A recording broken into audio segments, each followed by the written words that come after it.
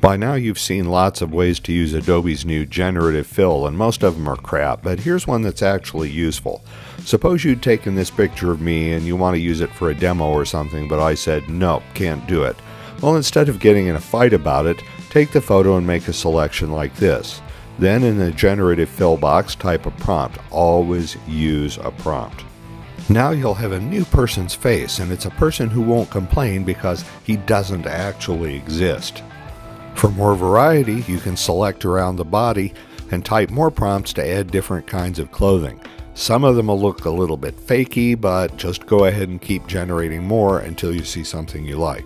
With practice, you can generate a plausible looking stand in in a couple of minutes. I made an entire board of directors in under half an hour, and I'll bet that most people looking at this casually on the internet would have no idea that none of these guys actually exist.